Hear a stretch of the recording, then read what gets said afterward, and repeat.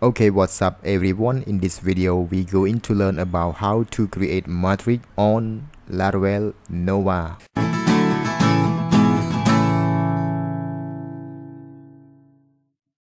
So now I have user resource already that my all user is 120.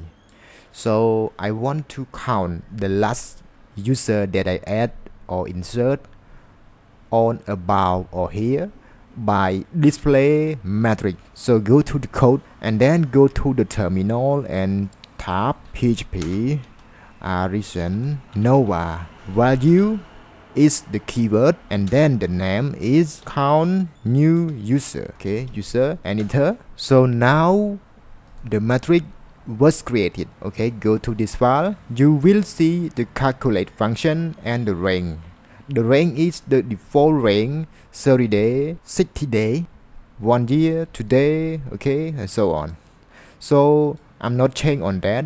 I only change on the model name. My model name is user. I want to count new user so i will point to the model user. You can tap app user okay user. Now i create calculate count. So go to the user resource okay and then define the your class is your class is okay new count new user. Okay now i register or define the count new user already.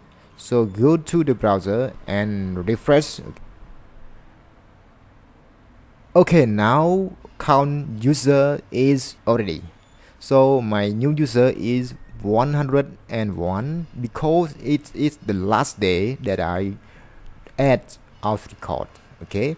So my sum record is 120 so my last record 30 day is 101 so I can select a year okay? It is the complete all the user.